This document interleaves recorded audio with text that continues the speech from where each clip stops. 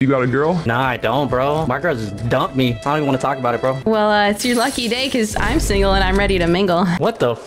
Hi. Bro, get your girlfriend off the mic, dog. No, no, it's me. I just had a voice changer. But listen, I'm single and you're single. I- I'm not gonna dump you. I don't know. I'm kind of picky. Kinda picky. Uh, first, let me ask you a couple questions. All right. What do you do for work? Well, I'm a streamer. Oh, you're one of those girls who wear tank tops and sit in front of a camera? It's not I like a hot tub stream. It's not like that. Trust me. If we go on a date, I could I could show you the stream at the end of the date, maybe. It depends. Uh, what's up with the jugs? Wait, what? You got the the tiggle bitties, you know? I stream to play video games. I, I don't really have a lot to flex, but I am entertaining. I'm gonna be real with you. If your cup size is A or B, you better see your way out because I'm more of a double D guy. You know what I'm saying? Plus, you sound kind of ugly.